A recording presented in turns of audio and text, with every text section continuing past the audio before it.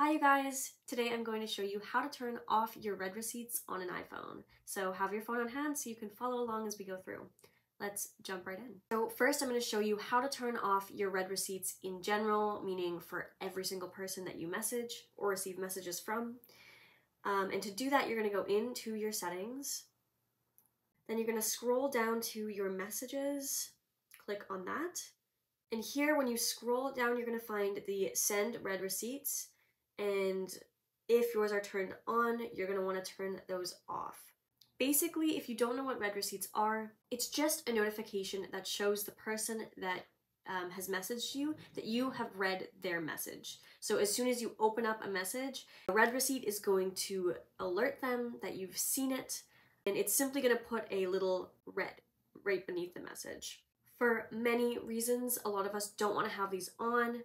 I personally don't like having them on. It, it puts pressure on me to respond right away.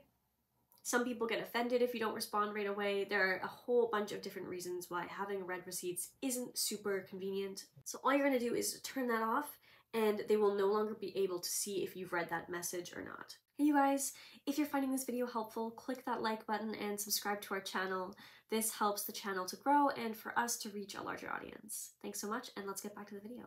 Okay, the next thing I'm going to show you is how to turn off read receipts for a specific contact. Sometimes you have a specific person in your life that you don't want seeing uh, the fact that you've read their message yet.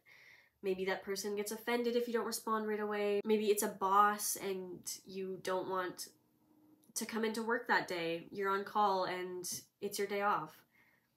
Regardless of the reasons, there is a way to turn read receipts off for a specific contact, and to do this, you're going to go into your messages.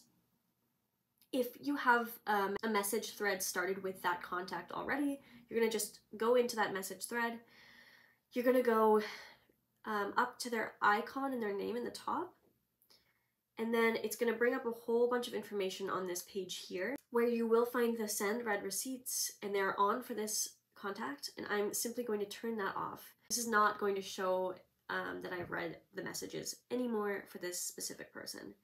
Obviously, you can go back in at any time and turn these back on. You're just going to follow the same steps and turn that little toggle button on on the side and it will reverse all of the changes that I just made. Once you're finished, you'll click done in the top right and there you are. Okay, as a bonus tip today, you guys, I'm going to show you how to clear your message history and have your message history clear on its own. This is a huge space saver on your phone and it saves a lot of time. I know I always forget to clear my messages. I almost never clear my messages and they take up quite a bit of room in my phone. So super simple. To do this, you're gonna open up your settings.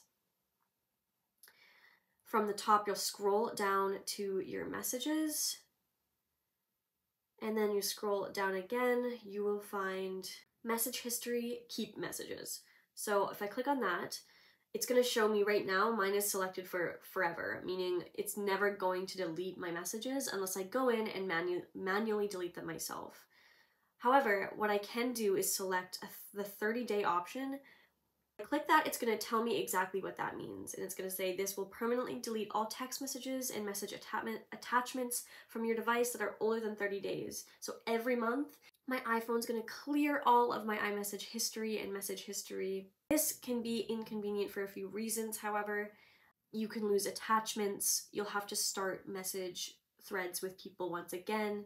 But if you're somebody that needs to clear up space on your phone and maybe doesn't really mind starting new uh, message threads or resending attachments, etc., then that 30 day option is a great way to clear some space. We also have that one year option, meaning it's gonna do the exact same thing only every once a year. Alrighty you guys, that's it for today's video. Thank you so much for tuning in and I hope you found this helpful. Maybe you can use this information or pass it on to somebody else who needs it. Thanks again and I will see you guys in the next video.